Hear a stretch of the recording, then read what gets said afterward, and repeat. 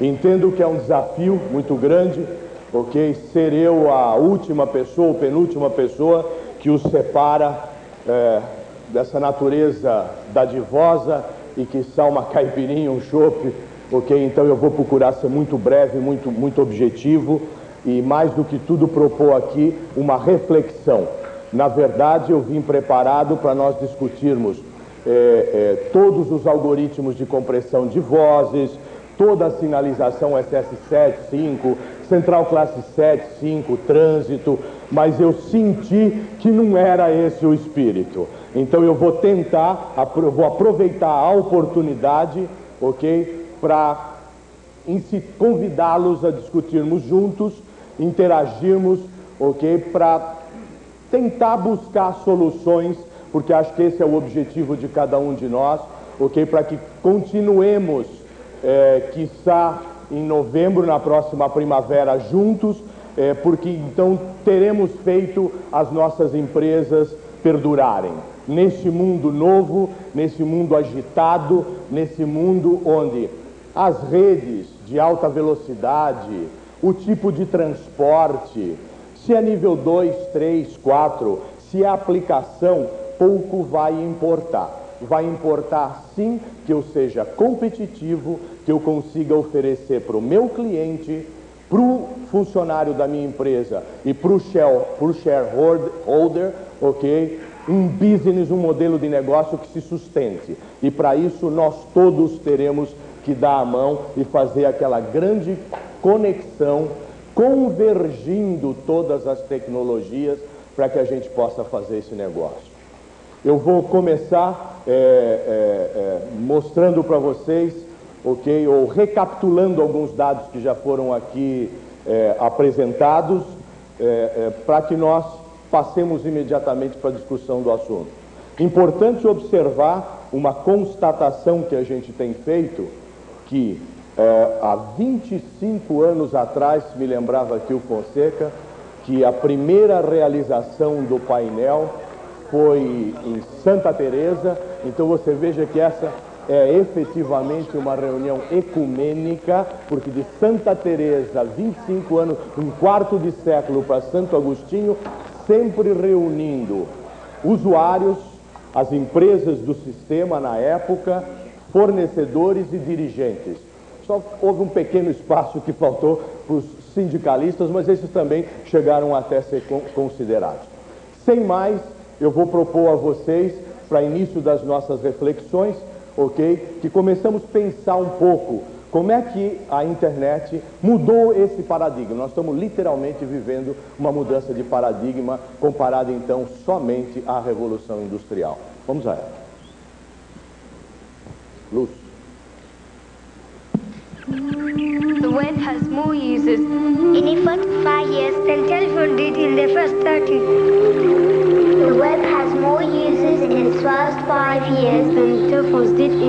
In 30.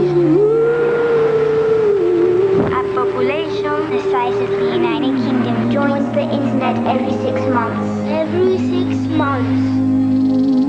Internet traffic doubles every 100 days. One day, one day, the internet will make long distance calls a thing of the past. One day the internet will make long distance calls a thing of the past.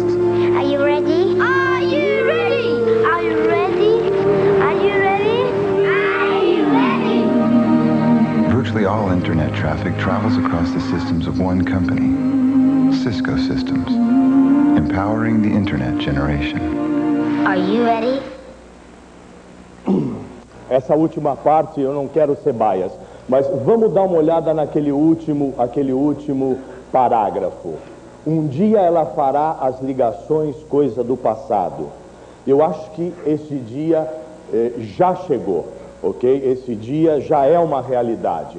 Se nós observarmos a velocidade de absorção das tecnologias, todas que foram decantadas aqui nesses dois dias, eh, nós vamos notar que nada, nada se compara à adoção de celular e à penetração da tecnologia da internet nos nossos negócios, na nossa vida pessoal, ok? Na maneira com que nós vivemos, aprendemos, trabalhamos e até nos divertimos. Nós, no Brasil, levamos o quê? 50 anos para termos 16 milhões de linhas fixas instaladas. Hoje nós temos outros 16 milhões de celulares. Em mais um ano está previsto eu ter 25 milhões de linhas móveis de, de, de celulares instalados de banda B. Isso é impressionante. Se nós imaginarmos que menos de 2 milhões nós já temos pelo menos 7 milhões de usuários, endereços, gente acessando ou não. Isso é muito impactante. De não considerar isso, ok, nos coloca ou faz com que corramos sérios riscos de voltarmos segunda-feira para o nosso negócio e começarmos a ter surpresa. Eh, prometi que não ia mencionar o exemplo, mas daquela livraria tradicional, centenária de Bricks and Mortar, que viu o fundo de uma garagem movimentar muito mais negócio do que ele, centenário, que ainda tirava, espanava o pó dos livros da prateleira. É muito grande esse impacto, ok? Esses números já não traduzem a realidade, não existe nenhuma estatística confiável. Um quarto de milhão de usuários nós já passamos, quase 10 milhões de sites, websites nós já passamos. Nós falávamos em utilizar 20 terabits, nós estamos falando em multiplicar isso por 5. É a velocidade da luz, não há dúvida nenhuma. Como eu disse, pouco vai estar importando, nós estamos aqui discutindo o tipo de tecnologia. Os investimentos foram feitos em, em, em circuit switching, esses investimentos têm que trazer retorno para nós. Nós estamos aqui para falar de negócios. Como é que nós vamos manter o nosso negócio? ok? E ter certeza que eu vou ser mais competitivo que o meu concorrente. E que eu não vou estar fora do business na próxima segunda-feira.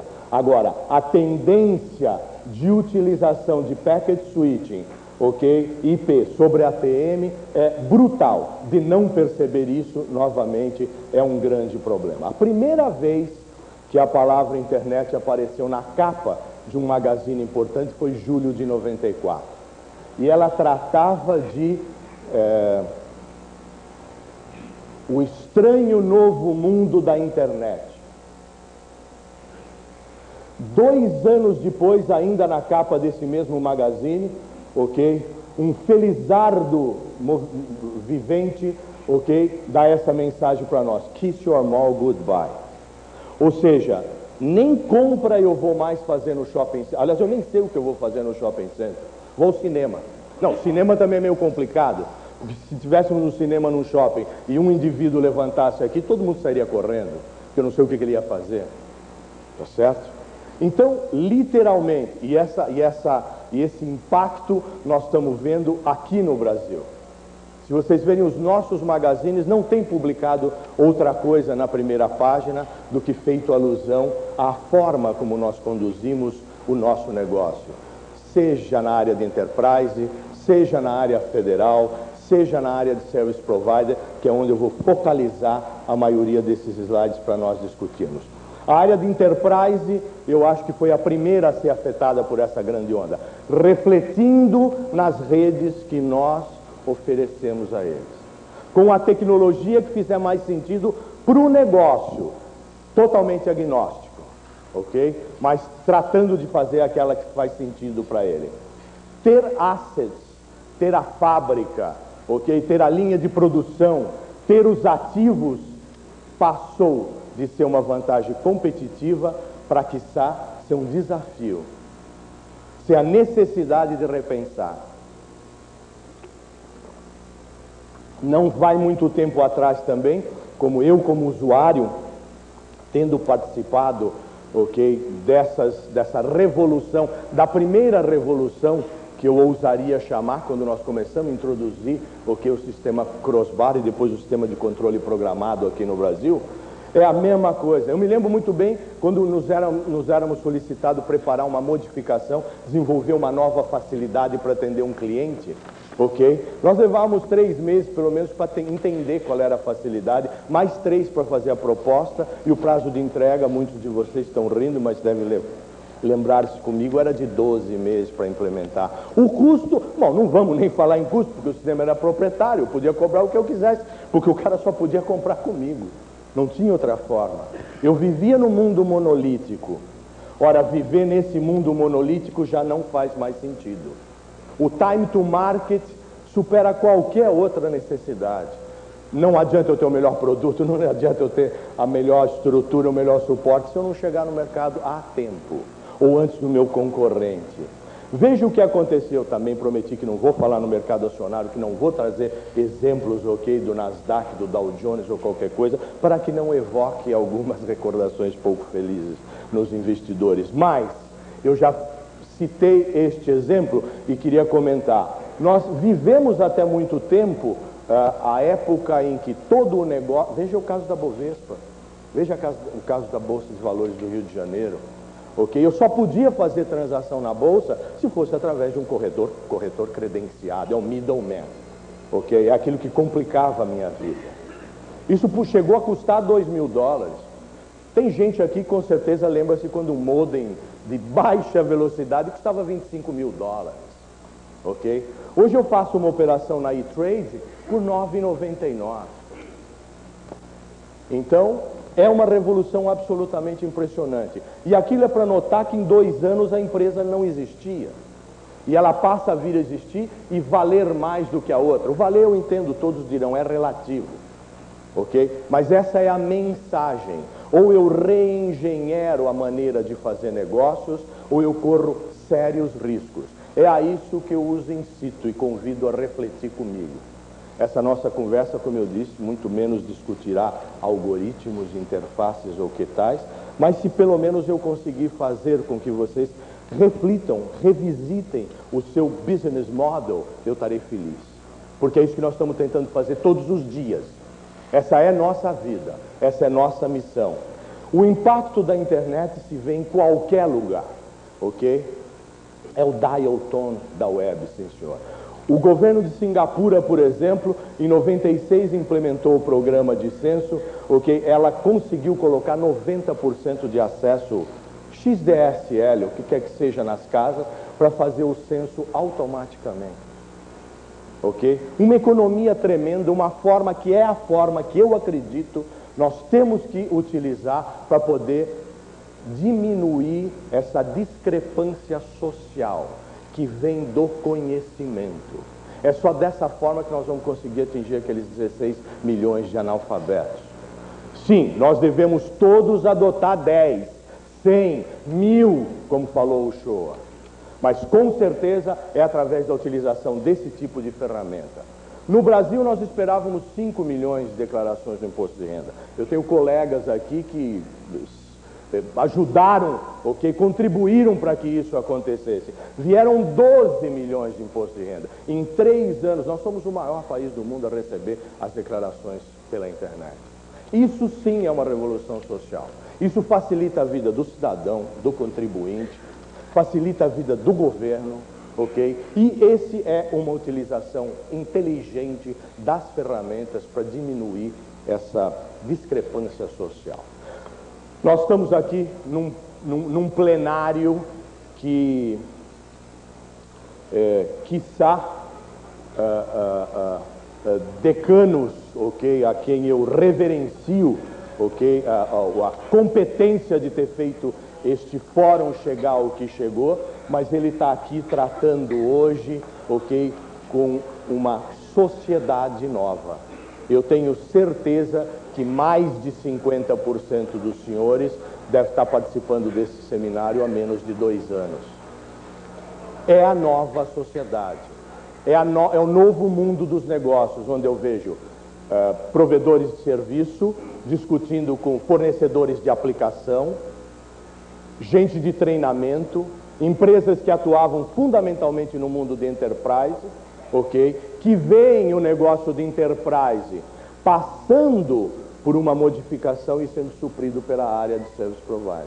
Serviços de network de qualquer categoria. É por conta disso que eu os conclamo a pensar em três aspectos. A concorrência, o tornado da concorrência, que é inexorável. A concorrência prolifera a cada minuto. Os serviços que devem ser oferecidos para você conquistar e reter o seu cliente, ok? É, é, devem ser desenvolvido, sonhado, pensado a cada minuto e depositado em cima de um sistema aberto. Porque o cliente não dorme, o provedor não pode mais dormir. São 24 horas, o nosso usuário está muito, muito, muito, muito mais exigente. E nós temos que cuidar dele, ok? São mais de 3.500 provedores de serviço, ok? Na virada do milênio que vão estar atuando. ILEX, SILEX, XLEX, ok? Cable, Power, Energy, Utilities. Todo mundo vai estar olhando o quê? Prover serviço.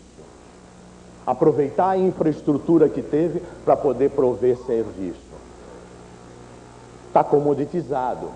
Então eu preciso buscar valor, ok? Porque se eu basear o meu modelo de negócio em cima do serviço de voz, eu vou correr um sério risco de acordar numa segunda-feira e ter surpresas muito desagradáveis. Podemos arguir quanto quisermos, quando 99, 2000 já foi, vai levar um pouco mais de tempo, mas que o volume de dados absolutamente superou o tráfego de voz, nós acabamos de ver. Se nós fôssemos uma formiguinha e ainda conseguíssemos entrar numa suíte crossbar, numa das portas e ficássemos lá dentro escutando o que estava passando lá, não era mais uh, circuito analógico de voz, era pacote que nós íamos passar de qualquer jeito. E se fosse às vésperas da entrega da declaração, aos milhares, aos milhões, ok? De base... Esse não é um eye, um eye test chart, não. Mas esse daqui mostra que se nós continuarmos vendo dessa forma, o crescimento de voz passa a ser zero e o revenue cai pela metade em 2002, ok? E antes que a primeira década do novo milênio termine, ok? Não haverá mais. Isso é do Merrill Lynch, está à disposição de vocês. Esse modelo foi estudado e foi desenvolvido. A minha proposta é: eu quero ir em novembro assistir, atender ao convite do querido Shoa para ver a primavera de Campos de Jordão. Better will be in business nessa altura, certo?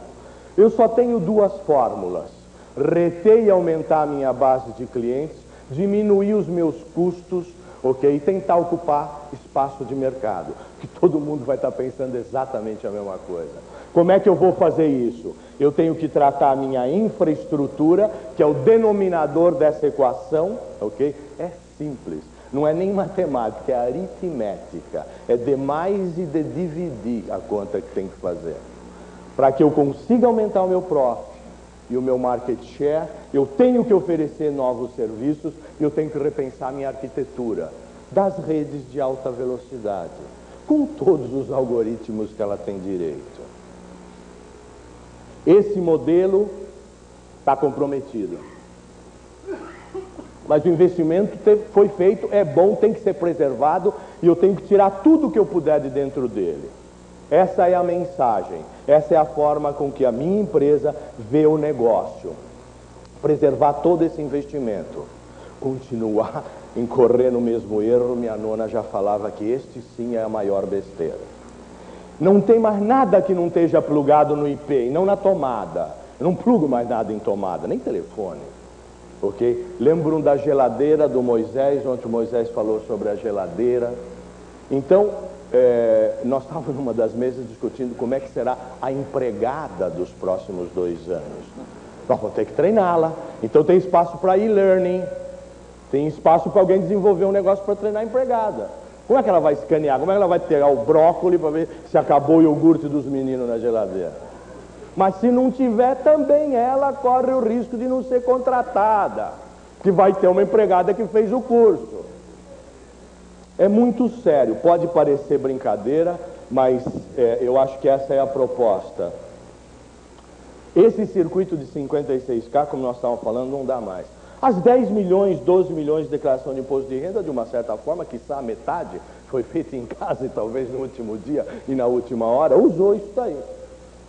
Isso é aquele zoom do Uchoa dentro de uma centralzinha, ainda era com. Eu sei que não é do tempo de vocês, mas eu, eu sou um saudosista, eu me lembro ainda da central crossbar fechando. Isso era um ponto que o Uchoa levou lá para cima do universo, eu voltei para fazer um zoom nesse ponto. Isso é o que estava acontecendo. Então isso não tem mais sentido. Isto sim é para nós pensarmos Vocês viram as estarrecedoras estatísticas de wireless, da proliferação do telefone móvel, do palm top móvel, ok? Destes tipos de devices muito mais baratos do que aqueles que utilizam o sistema fixo, o UPC, que continuarão sim. Então eu terei que ter acesso para eles também, ok? Através de XDSL. Cable é o nome do jogo, não há dúvida nenhuma. Não há dúvida nenhuma, até muito pouco tempo atrás, nós não imaginávamos que todos os serviços seriam recebidos, poderiam ser recebidos daquela forma. O que eu então quero dizer, na, minha, na nossa maneira de ver, eu os, os, novamente incito a refletir sobre o seguinte modelo. O transporte deve tornar banda uma commodity. Vai acontecer, está acontecendo. Não custa mais 60 mil reais por mês um canal E1 São Paulo, Rio de Janeiro e só para os amigos. Isso é coisa do passado, tá certo? Eu estou falando de 100 terabits, rápido. Todo mundo que trafega pelas vias secundárias de São Paulo, como Berrine, Marginal, Paulista, etc., uma hora trupica num buraco A, depois à tarde aquele buraco está fechado, depois trupica no buraco B, e tem quatro, cinco, seis buracos. Então todo mundo. E aí você olha para cima, tem fibra em cima, olha para baixo, tem fibra embaixo. Isso é uma realidade. De não olhar para isso é muito sério. Transporte óptico, switching de nível 2 se confundindo com nível 3 e o nome do jogo está naquela camada externa de serviços IP. O meu backbone tem que ter capacidade. 155 mega não vai me atender mais. Eu, nós estamos trabalhando com inúmeras empresas que estão levando 155 para o desktop. Eu não estou mais vendendo nada, estou vendendo serviço. Eu ofereço 155 mega no desktop para uma empresa de engenharia fazer desenvolvimento de CAD-CAM, ligo um velocímetro, um taxímetro e cobro por serviço. É, isso está perfeitamente nessas avenidas e ruas secundárias que eu mencionei, pode ser feito agora. E já existe gente oferecendo esse tipo de serviço. Essa é a rede de alta velocidade a que eu me referia. Os switches são ópticos. Não dá tempo de acompanhar tudo isso. É o lambda que está mudando. Eu estou transportando informação em lambdas diferentes. Não é mais elétrico. Então, essa é a realidade. Isso está acontecendo agora. Eu vejo aqui, no mínimo, meia dúzia de colegas que nós estamos implantando isso. É hoje. De não fazê-lo é correr um risco muito, muito, muito sério. Uma plataforma de transporte ávida por consumir banda, ok? Posso distribuir como quiser, agnosticamente, ok? Desde que aquela tomada lá de cima permita que eu ligue a geladeira, venha do carro e etc. Eu queria concitá-los, incitá-los a refletir mais uma vez sobre uma coisa interessante. Não é, eu sei que não é do tempo de você. Eu, um decano já partícipe no mercado. De, uh, uh, sounds familiar isso? Mainframes, este protocolo, os grandes amigos da IBM que eu os vi aí agora. Este mundo, ok, tinha aquelas características. O novo mundo está pedindo, e essa, essas empresas inteligentes se moveram bastante rápido para aquele novo mundo. Aberto, estándares públicos, flexível, onde o sistema monolítico deu, deu espaço a ecossistema de parceiros. Ninguém consegue fazer o melhor sozinho está provado. É muito melhor todo mundo dar a mão, criar um grande ecossistema e cada um oferecer a sua melhor competência. Começo a ver alguns já incomodados. Veja que interessante. Olha que interessante. Nós só mudamos o título. É um filme que nós temos que tomar muito cuidado. A arquitetura do momento, a arquitetura que está disponível hoje, a arquitetura na nossa maneira de ver, pronta para transportar isso é essa aberta, onde eu faço conexões no nível, no menor nível, controlo o que está acontecendo e ganho dinheiro na camada de cima, oferecendo rápido para todos os clientes serviço. Está disponível no Brasil, isso é coisa de tecnologia brasileira. Vejo outro grupo de colegas aqui que ajudou a desenvolver isso no Brasil. Isso é muito importante. Sim, senhores, esse é atrópico. Participando desse ecossistema. Gente decana, mais. Mas que está com a tecnologia pronta para continuar no negócio. Oferecendo serviços mais rápido, mais barato. Porque é aí que está o revenue. E a minha diferenciação para criar uma barreira cada vez maior para os nossos concorrentes. Você já imaginou se o meu negócio fosse só vender acesso de internet? De repente, um banco acorda no outro dia e oferece e, me, me, me toma um milhão e meio de assinantes de graça. E eu esqueci na sexta-feira de vir aqui orar para Santo Agostinho. Complicado. Complicado.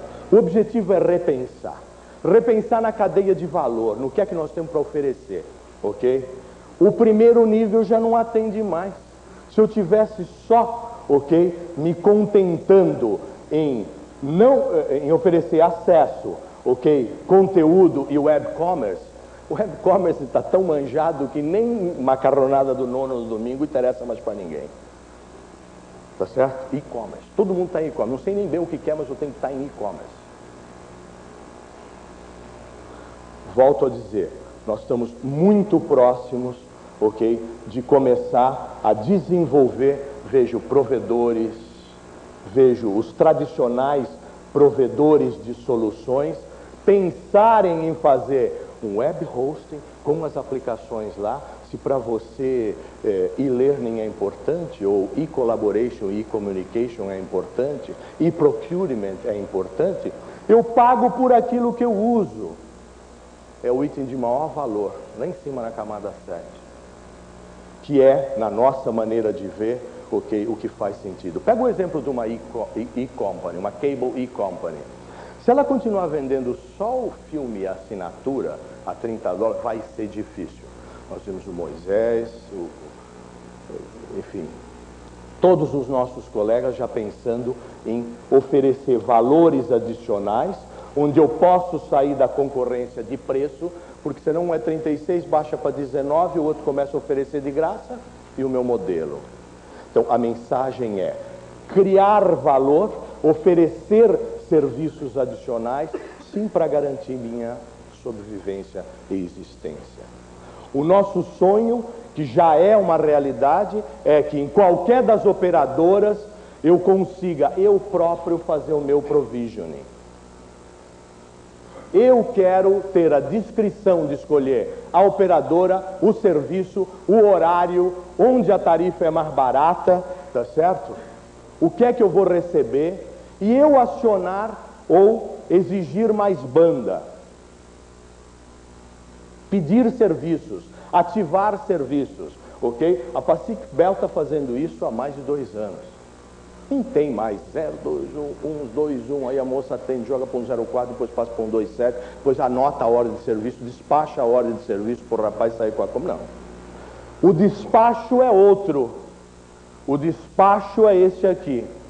O assinante solicitou o serviço eletronicamente, a fábrica configura o device, que é plug and play, não play, é plug and play, não play, é só ligar na tomada e pôr o RJ45 na porta dele. A porta é IP.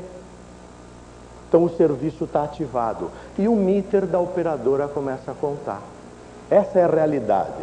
Mas essa realidade é a realidade agora, está acontecendo. Eu acho que eu não estou dizendo nenhuma novidade para vocês.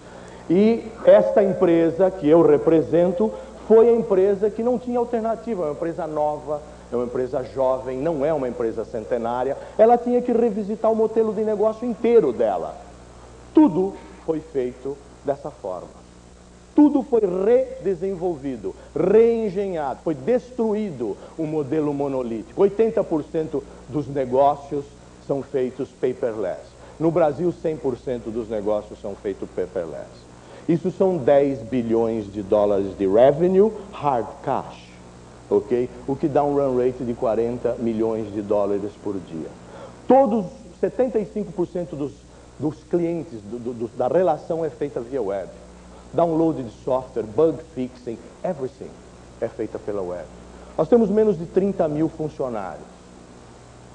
E, independente, eu entendo perfeitamente que isso não tem importância nenhuma, mas a Nasdaq, os analistas que podiam escolher entre Coca-Cola, Boeing, ok, ou qualquer outra coisa, disseram que essa empresa é a segunda, hoje a segunda mais valiosa do mundo, perdendo apenas para a centenária empresa fundada pelo nosso iluminado Thomas Alva Edison, AGE.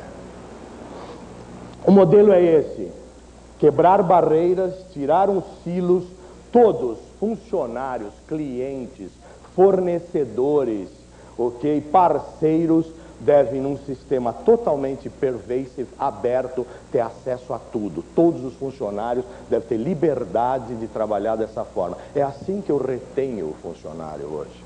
Esse é um outro aspecto muito importante a ser considerado. Isso permitiu, no ano passado, eu prometo que é o último slide que fala dessa empresa, uma economia direta de 825 milhões de dólares, que impacta, impacta diretamente no revenue. Isso é 15% do revenue net.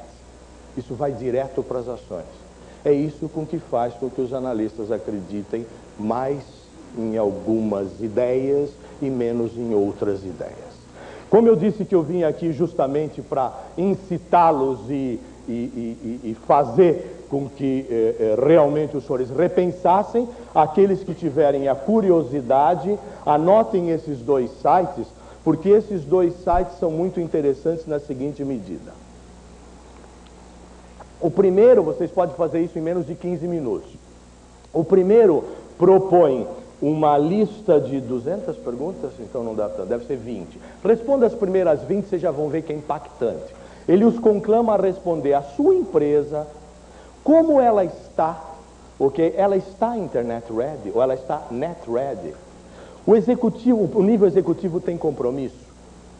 Os funcionários têm liberdade para utilizar as ferramentas. Eu estou preocupado. O meu concorrente faz negócio dessa forma. O meu concorrente, no caso do service provider, já fazem esse tipo de. prestam esse tipo de serviço. Aí você vai ter o IQ-Net, através destas respostas. O segundo vai comparar a sua empresa com a melhor empresa do ramo do segmento. Tá certo? Aquela empresa que é uma referência naquele negócio. Aí vocês podem ver onde a sua empresa, ok, se situa é, dentro deste mapa e deste quociente. Tá certo? Em termos de tecnologia, eu tenho competência interna ou eu preciso desenvolvê-la? Eu tenho liderança, os meus líderes é, é pervasive, existe a cultura da internet ou ainda é uma novidade? Ainda tem gente que manda a secretária imprimir e-mail e põe em cima da mesa? e para deletar, para jogar no lixo. É para pensar, é sério. Esse foi o meu objetivo. Eu queria pedir à senhora, fale um número de 1 a 26 para mim. 15. E agora, de 1 a 13. 12. A fila 15, se tiver alguém sentado na cadeira 12, essa, essa, como é o seu nome, madame? Luiz. Dona Luísa acaba de fazer um sorteio virtual. Eu entrego este livro virtualmente, mandem-me um e-mail e eu farei chegar até quem estiver sentado na fileira 15, na cadeira 12, do lado direito e esquerdo. Então, dois livros desses. Um, dois, três, quatro, cinco, seis, sete, oito, nove, dez, onze, doze, treze, 14, 15. Tira a luz aqui, eu não estou vendo nada. Um, dois, três, quatro, cinco, seis, Pronto, essa senhora acabou de receber um livro, ok? Por favor. E você também, simpático, você, você, você, esse do meio, esse, esse mais forte como eu, ok? Acaba de receber um livro. Veja, eu acabei de fazer um sorteio virtual. Por favor, o endereço de e-mail, o Luizinho vai botar o endereço de e-mail. Mande-me um e-mail que através para ccarneva.cisco.com ok? Que os senhores acabaram de receber, não virtualmente, mas receberão o livro, ok? Para fazer os seus testes. E todos os outros, como eu não posso carregar papel, eu sou uma empresa paperless, eu fico um pouco preocupado, me dê esse monte de coisa, eu fico um pouco preocupado, com profundo respeito, quando, é, a menos o da solidariedade, esse pode pôr como quiser, o que quiser, o papel que quiser, para adotar 10, 100, tá certo, doutor Uchoa? Mil, dez mil crianças, põe o papel que quiser. Mas, pô, para ter que ler, eu não vou, vocês lêem, vocês lêem o exame, a internet, o radio, a revista da mídia, a Gazeta Mercantil, o Estadão, o livro, ok? Quanto tempo faz que vocês não leem um romance, um livro de poesia? O livro do Lenine, de poesia, contos, universos, tá certo? Então, é em nome disso, esse foi o meu objetivo, eu os conclamo a isso, a, a refletir, ok? Em que estágio nós estamos para podermos estar aqui com o Shoa no próximo, na próxima primavera em Campos de Jordão. Era só, eu prometi e acho que quase consegui, tenho ainda nada. Muito obrigado a vocês pela hercúlea paciência que despenderam. Muito obrigado a todos. Muito obrigado. Muito obrigado.